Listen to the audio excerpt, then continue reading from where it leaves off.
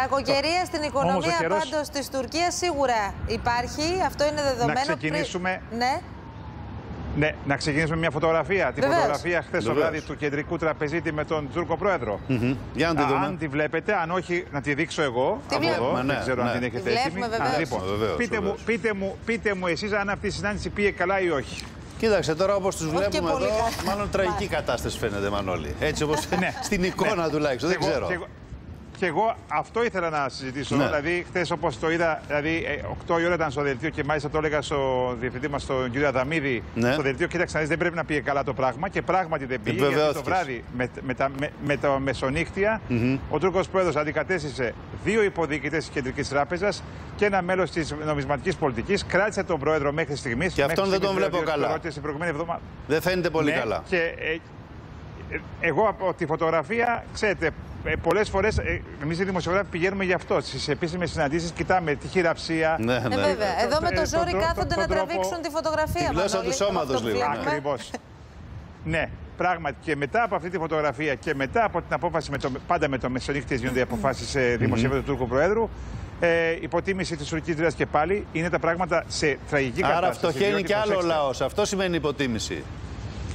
Λοιπόν, ε, φτωχαίνει κι άλλο ο λαός. Το δολάριο πήγε 9 λίρε λέει, αλλά έχει ξεπεράσει τις 9 λίρε.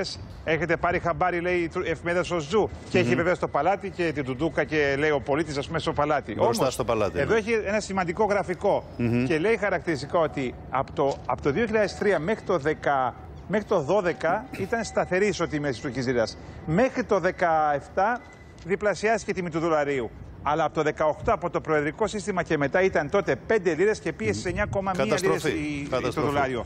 Τι σημαίνει αυτό; Επειδή συζητάμε για το φυσικό αέριο ότι θα είναι ακριβό φέτος, ότι το πετρέλαιο κτλ. Σκεφτείτε ότι εκτός από την αύξηση του φυσικού αερίου, ο Τούρκος πολίτης θα πληρώσει και την υποτίμηση. Δηλαδή, βέβαια, στο βέβαια. δολάριο υποτιμήθηκε περίπου 25% τους τελευταίους 9 μήνες από τότε που άλλαξε τον διοικητή ο Τούρκος πρόεδρος, που σημαίνει ότι καταλαβαίνετε φέτος είναι πάρα, πάρα πολύ δύσκολα τα πράγματα στην Τουρκία και αυτό ε, είναι ένα πολύ σημαντικό για έναν πολιτικό όπως τον Τούρκο Πρόεδρο που ε, το βασικό του όπλο στον τουρκικό λαό ήταν ότι τριπλασίασε το εισόδημα του. Η ακρίβεια έχει φανεί και στην αγορά, φανταζόμαστε Μανώλη. Το έχουμε δει και από ρεπορτάζ τις προηγούμενες μέρες και στα καύσιμα και στα τρόφιμα και παντού, έτσι. Μόνο στα σούπερ μάρκετ που πάει ο Ερντογάν δεν έχουν αυξηθεί οι τιμές. Μόνο εκεί στα συγκεκριμένα Ε, προϊόντα που λέει ο προσέξτε. ίδιος. Προσέκ, προσέξτε, ε, α, το- για τον Ιανουάριο μιλάμε, για το 2021 μόνο, ο βασικός μισθός είχε φτάσει στα 384 δολάρια, δηλαδή περίπου στα 330 ευρώ. Ναι. Και τώρα από την αρχή του χρόνου έχουν χάσει 71 δολάρια, δηλαδή περίπου κάπου στα 100 ευρώ έχει χάσει ο κάθε Αν είναι πολίτης από δυνατόν. το βασικό μισθό Φοβερό. μέσα στο χρόνο. Φοβερό. Επειδή ε, έχουμε συνηθίσει στο ευρώ και τα πράγματα είναι πιο σταθερά, μόνο με τις διεθνείς τιμές ασχολούμαστε. Βέβαια. Εδώ στην Τουρκία ασχολούνται και με, τις- και με την υποτίμηση. Και αυτό είναι ένα πολύ. Τα ε, θυμόμαστε κι εμείς αδύναμο με τη σημείο της δραχμούλα, τουρκικής Μανώλη, αυτά. κυβέρνησης. Τα είχαμε κι εμείς αυτά με τη δραχμή. Με υποτιμήσεις που γίνονται μέσα στη Εγώ νύχτα πάλι, κλπ. πάλι να το πω, πάλι θα σε εκνευρίσω. Και έλεγαν- Πάλι και θα έλεγαν, σε Μανώλη, εκνευρίσω. τότε- Κώστας Σιμίτης. Μπράβο. Κώστας το Σιμίτης. Κώστα Σμίτς, εγώ μέσα είμαι, δεν το συζητώ. Έλεγαν τότε η υποτίμηση και οι εκλογές δεν προαναγγέλλονται. Το θυμάσαι αυτό; Τώρα έχουμε Επί μείνει δραχμούλας. μόνο Σωστό, στι σωστό εκλογέ. είναι. Τώρα έχουμε τις Πάντως- εκλογές μόνο. Τώρα που έχουμε δεν μόνο σε εκλογές να προαναγγείλονται. συμβαίνουν.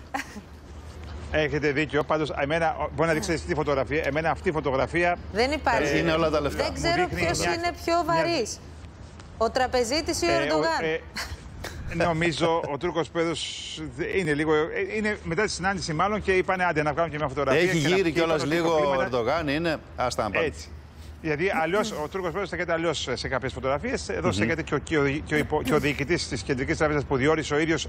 Είναι ο, ο τρί, τρίτες, τρίτη αλλαγή. Αν τον αντικαταστήσει και Μάλιστα, αυτό, θα πάμε μάλιστα. στην τέταρτη μέσα σε δυόμιση χρόνια.